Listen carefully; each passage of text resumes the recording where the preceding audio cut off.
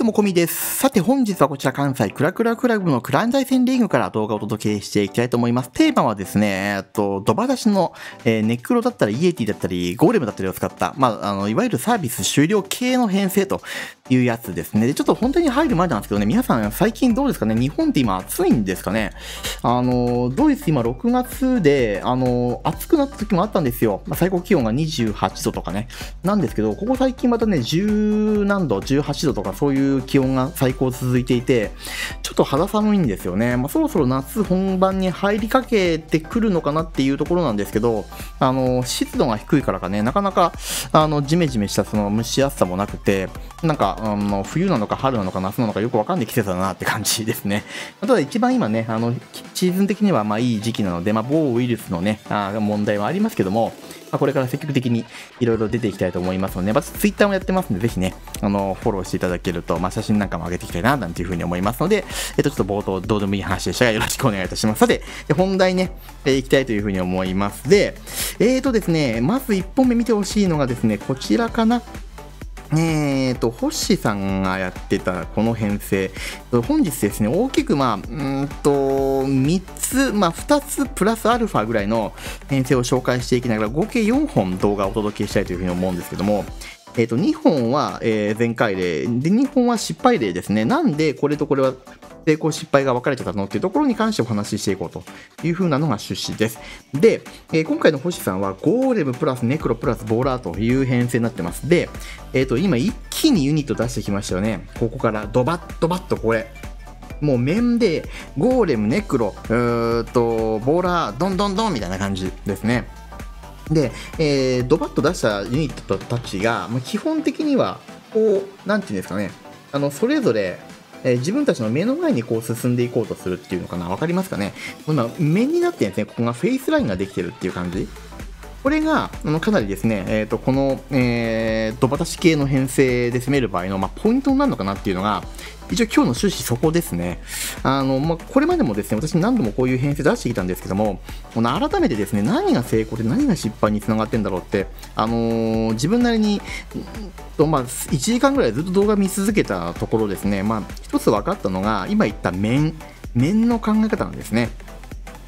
で、それができるかどうかっていうのは、序盤のユニットの出すタイミングでほぼほぼ全部決まるんだなっていうふうに思えていて、まあ、そこをちょっとね、今日は中心にお話ししたいと思います。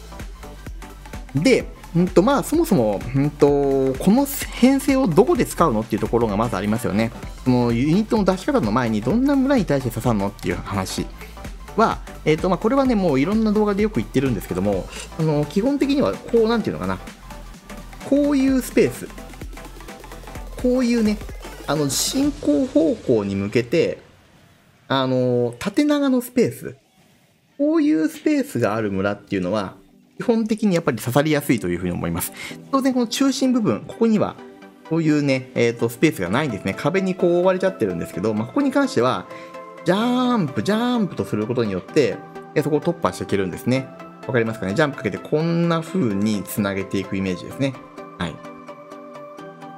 まあ、そういうふうにして奥に奥に、えーユニットを、えー流していけるような配置。そういうのはこういったドバ出し系の、えーネクロマンサだったりあとはイエティとかボーラーとかを使った戦術がまあ刺さるのかなという気がします。で今回、えー、と星さんがゴーレム多めで出してるのはおそらく序盤にシングルインフィルノがないからなのかなっていう風に思いました。あとはえっと投石機器があったりするんで一回、えーそのターゲットを、ね、ゴーレムが取ってくれればあとは、えっと基本ターゲットがゴーレムやられるまで外れないという、まあ、利点がありますのでイエティとかだと体力低いんですね。なんでそいつ外れちゃうと,、えっと投石のターゲットがスケルトに向いた瞬間全部スケルトがやられちゃって、えっとネクロマンサーが無防備のままダメージを受けるとかね、まあ、そういうケースが、え生じうるのであとシングルインフェルノがあったら30コスト分が一瞬で解けますからね。あのそういうのがない序盤の展開になってくるのでゴーレムを選んだのかなというふうにうーんちょっと個人的には思います。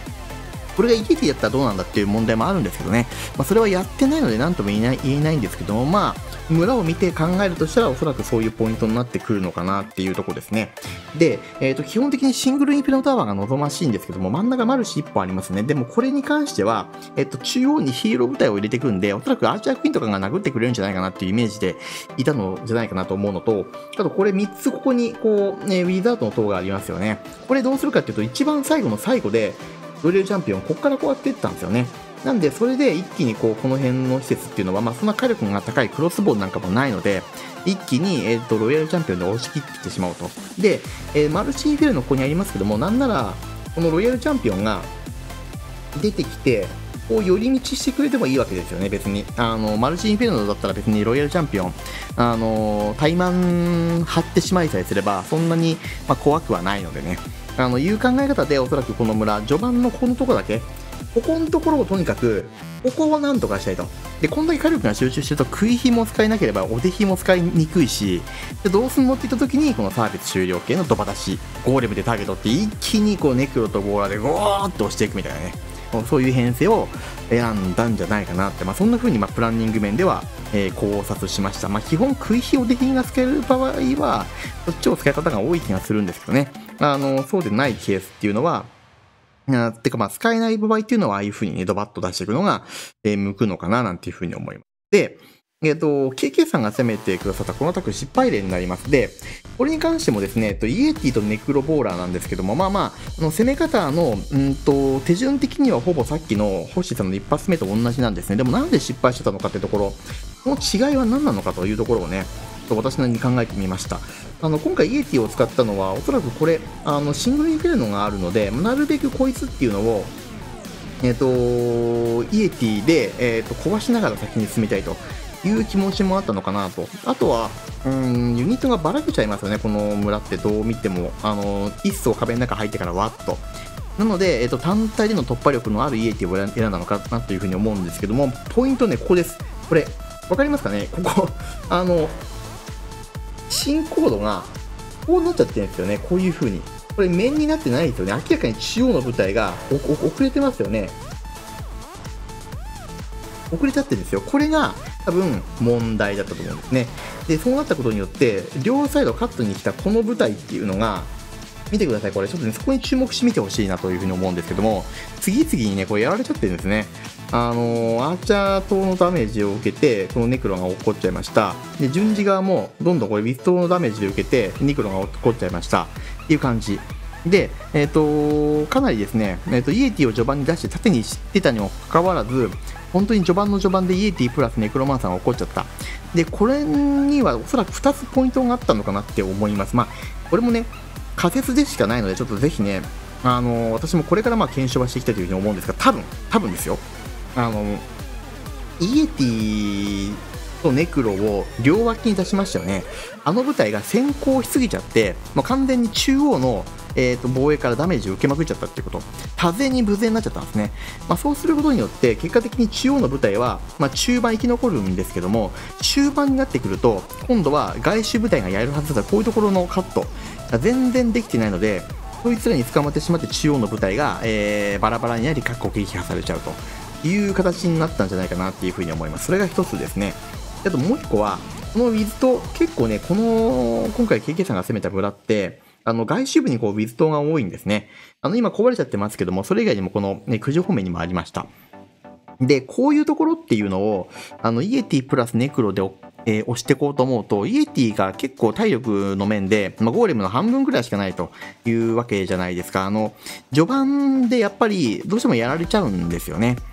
で、えっとやられちゃった後、じゃあ、ウィズトのターゲットって何が飛ぶのっていうと、スケルトンになってきちゃうわけじゃないですか。そうすると、まあ、一発で溶かされ、結果、無防備、丸裸になっちゃったネクロマンさんがやられるっていう、そのループに陥ってしまうので、これもしかしたら、あの、両脇、その12時と、この9時から出してきた EAT プラスネクロの、えーコンビっていうのは、えっ、と、ゴーレムプラス、えっ、と、ネクロのコンビでも良かったかもしれないですね。あの、外周にシングルインフェルノとかがあったら全然話は違うんですけど、まあそういうわけではなかったので、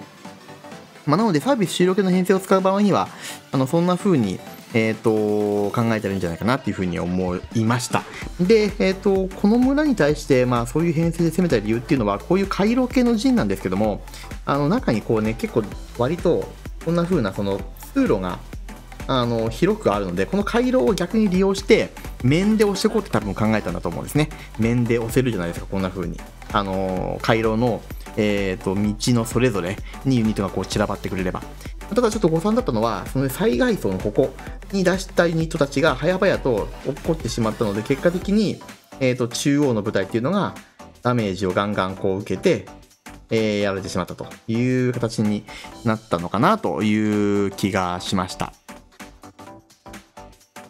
はい、というところでですね、2本目終わります。では3本目ちょっと行ってみましょうか。ちょっとペース上げてた方がいいですかね。あの、語りが長すぎて皆さんもう退屈してるかもしれないので、えー、少しね、ペースアップしてやっていきたいというふうに思うんですけども、えっ、ー、と、ドドッとね、えー、2本、ラスト見ていきましょう。はい、これですね。3本目ちょっと見ていきたいというふうに思います。で、次、ドクター J さんが攻めたこのタック、これね、星2でやっぱり終わっちゃったんですけども、あの、施設レベルも低いし、ユニットの出し方もそんなにね、問題ないかなっていうふうに一見見えたんですよね。なんですけども、えっと、じゃあやっぱりなんでダメだったのかっていうと、さっきのですね、2本目の KG さんと同じで、両サイドのカットが、あの、思うように伸びなかったってとこが問題なんですね。今回、イエティ1体プラスネクロ3体ということで、まあ、ざっくり計算してどんなもん、えっと、40、50ユニット分ぐらいを片方ずつに出してるわけですよね。で、こいつらが序盤でやっぱりやられちゃうと、当然その外周部に割いたコスト分の仕事をしてくんないということになっちゃいます。で、見てもらって分かる通り、これ、完全にここ先行しちゃってますよね。だから中央の舞台が出てくるのが遅すぎたんですよね。あの、もうほぼほぼ同時に、パッパッともう、 one、two、three ぐらいのペースで出してもよかったのかもしれないですね。結果論ですけどね、あくまで。あの、やってる時にはそんな風に、あの、なかなかできないのかもしれないですけども、あの、結果的にはそういう風にした方が良かったのかなっていう気がします。もうこれで完全に、まあ、ユニットはそれぞれに中に入っていくんですけども、代わりに、えー、両サイドに出したネクロマンサーたちがもう見てほしいんだけども、完全にいなくなっちゃってますよね、これ。で、こうなってくると、やっぱりですね、何が起こるか。あの、アーチャークイーンがですね、脇道にそれまくっちゃうんですね。あの、今これ、アーチャークイーンの動き特に注目してみてもらうと、金庫叩いてますよね。お前そっちじゃねえよって話なんですよね。あの、前にいるアーチャークイーンをなんとかしてくれと。透析機をなんとかしてくれ。イーグル砲を早く壊せという話じゃないですか。もうどこ寄り道してんのと、クローク残して体力満タンのビンビンのアーチャークイーンが、まだ、あの、最前線に行ってくれてないということで、それ待ってる間にもイエティたちがもう力合わせちゃってるんですよね。力尽きちゃって、もうあいつのそのロイヤルチャンピオンが残っちゃったり、えー、クロスボウが2本残っちゃったりという形。まあ、これがもしも序盤にアーチャークイーンがちゃんと、えー、奥に奥にね、こう、イエティと一緒に入ってくれて、この辺を、この状態、今のこの状態ですね、このこの破壊の状態で、しっかりイエティとかネクロが残っていれば、惰性で押し切れたかもしれないんですけども、あのやっぱりそのアーチャークイーンの後ろからの押し上げ作用っていうんですか？これがないとこんな形で、あのー、前に出たユニットたちが火力に負けてやられてしまうということですね、まあ、アーチャークイーンって一番火力のあるユニットですからね、あのクラクラの中で。やっぱりそいつが前線で、えー、仕事をしないときついかなという、まあ、その結果につながったのはさっきも言ったけどこういうとこですね。こういう残っちゃってますけど、こういうサイドのカットがしっかりできてないので、そこにアーチャークイーンがターゲットを取って寄り道しちゃったと。壁まで叩いてくれてましたからね。あの、そんなことしてる場合じゃないだろうというふうに、またドクター J さんはすごく思ったと思うんですけども、やっぱり、えっ、ー、と、サイドカットをしっかりしないと中央にユニットが入っていかないから、それを少し見ちゃいたいところはあるんですけども、見ずに、どんどんどんどんとですね、ユニットを出していくっていうのが、この編成の、えっ、ー、と、ポイントなのかな。まあ、ドバ出しちゃうは、まあ、よく言ったもので、本当にドバッと出しちゃうのがいいのかなっていうふうに思いました。で、えっ、ー、と、ラストですね、えっ、ー、と、ミッチーさんのこのアタックも見ていきたいと思います。これは逆に成功例ですね。えどんな風に出してるかというところを見てほしいんですけども、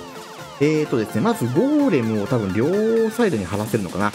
シングルインフェルノが中央にあるので、これはなかなかね、えっ、と、やりたく、処理したくないというのがあって、ボーラーでまずはカットしますね。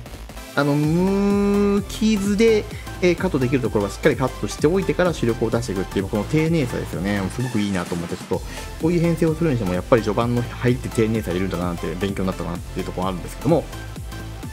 えーとですね、ゴーレム出てきましたね。両サイドにゴーレム。ゴーレムの後ろからボーラー、ゴーレムの後ろからボーラーという感じですね。ネクロマンサー今回持っててないです。あの一気にアイスゴーレムとかゴーレム、ボーラーで押していくんですけども、えっ、とね、この村選びのところで話しましたけども、えっ、と縦に攻めた方がいいんだったら多分こっちから行った方がいいんじゃないのって思いますよね。その方が、えっ、とユニットが壁の邪魔に受けずに進めるんで。でも、えっ、と、今回おそらくですね、ミッキーさんこの村を、ね、なんでこの攻めをしたかっていうと、食い火すごく回しづらいんですね。こういう区画の切れ目がこういうとこいっぱいこうあるんで、食い火やりにくい。や、やりにくいんですよ。なんで、えっ、ー、と、そこに対してこうね、えっ、ー、と、食い火ではない戦術を使おうと思った場合に、今回のこの、えっ、ー、と、ゴレボーラーと、ゴレイエティボーラーっていうね、えっ、と、バタ式の戦術を、選択することになったのかなというふうに思います。で、ただですね、やっぱりその序盤見てもらって分かる通り、もう、えー、主力のユニット、ゴーレムからのボーラー、ゴーレムからのボーラー、次、イエティからの、ね、ボーラーってババババって出してきましたよね。あれをやったことによって、外側にいるユニットと内側にいるユニットが今これこうちゃんと線ができてますね、こういうところで。あの、ちゃんと面でこう押していくことができてるじゃないですか。これがやっぱり成功の秘訣になってるのかなっていう気がしました。で、最外層はバットですね。このバットに関してはですね、よくここバット選んだなっていう勇気あんなっていう気がするんですけど、